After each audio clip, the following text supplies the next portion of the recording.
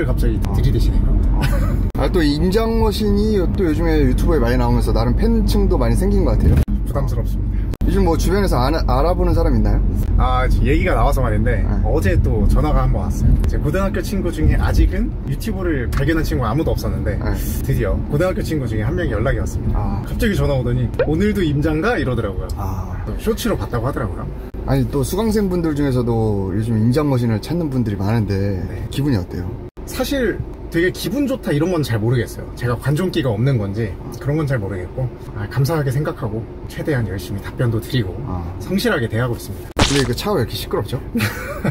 이 차가 이제 제 첫 차입니다. 네. 2010년에 뽑은 제 첫 차고 네. 차를 좀 바꿀까 돈을 벌 때마다 그 유혹이 한 번씩 생기잖아요. 네. 고민이 되는데 이 차를 그 경매로 내놓으면은 뭐 300만 원도 못 받더라고요. 아. 추억도 좀 있지만 아직은 뭐 잘 굴러가기 때문에 음. 더 타고 있습니다. 몇 년과의 추억이 있죠?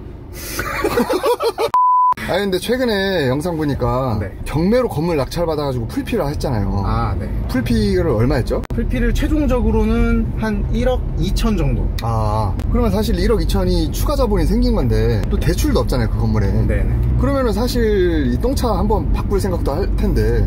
저는 이미 그 건물 받기 전에도 다주택자였는데 많은 다주택자분들이 공감하실 겁니다. 보유한 물건들 음. 역전세를 좀 대비하는 차원도 있고 아 아직은 이렇게 고정적인 현금 흐름이 크게 발생하고 있진 않거든요. 네. 그래서 좀 생활비 쪽으로 뭐 5천에서 1억 정도는 예비 비용을 가져가려는 것도 있고 음. 그래서 조금 자금을 지금 보수적으로 운영하고 있습니다. 지금 임장모 씨님은 휴직 중인가요? 네, 육아휴직 중입니다. 이게 외벌이에요? 외벌이죠. 아이도 있잖아요. 아이가 둘 있습니다. 아니 그러면은 원래 혼자 벌어서 내 가족을 책임지고 있었는데 휴직하면 소득이 없잖아요. 없죠. 그럼 지금 뭐 먹고 살아요?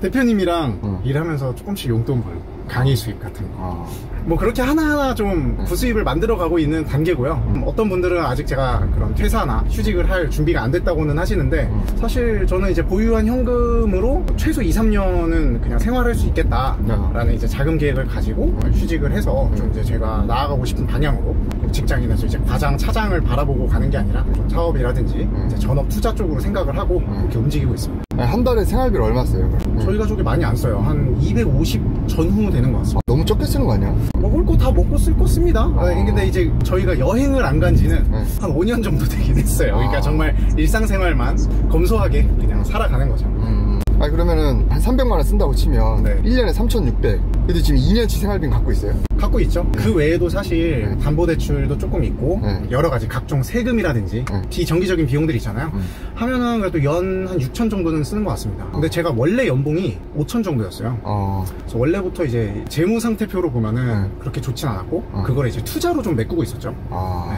네. 그러면 그렇습니다. 원래 직장 다니고 있을 때도 불안했는데 지금은 급여도 끊긴 상황에서 네. 더 불안하지 않아요? 근데 그게 신기한 게 안 불안해요. 아. 휴직을 하고 제 자체적인 사업이나 전업 투자를 병행하고 있는 게 1년 반이 됐는데 어, 훨씬 행복합니다. 사실 재정적으로는 불안하죠. 불안한데 조금씩 성과가 나오는 게 직장 일 하는 것보다 훨씬 재밌기도 하고 음. 사실 직장 생활 일을 했어봐야 여기서 5천만 원 더 버는 건데 음. 저는 뭐 2, 3년 뒤에는 연 1억 이상은 제가 기본적으로 벌 수 있을 거라는 확신이 좀 있어가지고 음. 그렇게 불안하지 않습니다. 대부분의 직장인분들이 퇴사를 좀 두려워하고 네. 퇴사하기 전에 월급의 수익을 만들어 놓고 좀 퇴사하려고 하는 경향들이 있잖아요. 근데 임정모 씨는 그런 고정적인 소득 없이 그냥 바로 이렇게 나올 수 있었던 이유가 뭐라고 생각해요? 퇴사나 휴직을 생각하기 전부터 그냥 일반적인 투자 재테크를 할 때도 음. 사실 현금 흐름엔 별 관심이 없었거든요. 아. 일단 그런 기본적인 성향 탓이 있는 것 같아요. 아. 저는 뭐 따박따박은 별로 바라지 않았어요. 사실 그거 모아봐야 어, 좀 부자 되는데 너무 오래 걸린다고 생각을 했고 어. 어쨌든 지금 단계에서 뭐 내가 가지고 있는 돈이 총 1억이었으면 한 5억, 10억으로 퀀텀 점프할 수 있는 그러니까 차익을 좀 크게 가져갈 수 있는 방향으로 항상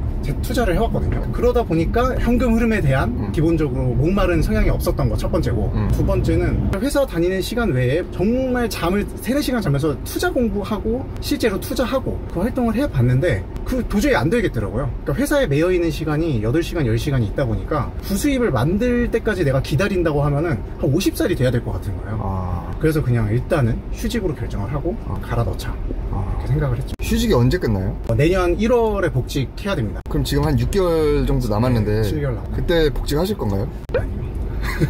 아 근데 이거 유튜브 나가면 어떡하지? 회사에는 한다는 여지를 남겨둬가지고 1년 아. 연장을 사실 한 거거든요. 아, 이것까지 내보내겠습니다. 아.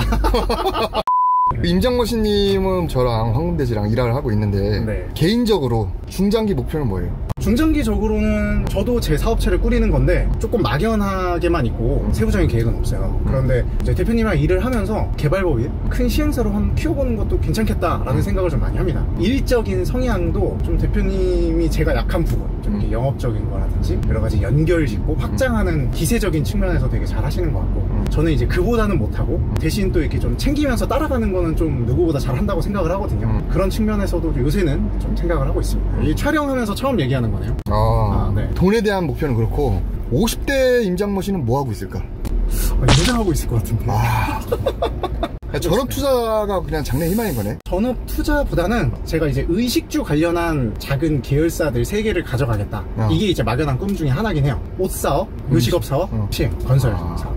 네. 딱 전형적인 그 조폭들이 하는 딱 그 의식주 그거 있잖아. 그거보다 더 고부가 가치적인 산업에 대해서 사실 호기심도 많고 어. 개인적으로 열심히 찾아보기도 하고 성공한 사람들 뭐 책도 읽고 따라다녀 보는데 음. 사실 제가 전공도 토목과였고 제 두뇌도 굉장히 그냥 공학도스런 측면이 많거든요 음. 또 제가 직장 생활을 해온 것도 건설업 통신업에 있었어요 최대한 경험했던 것들을 살리는 방향은 그래도 그 세 가지가 제일 가깝지 않을까 그렇게 생각하고 있습니다 아.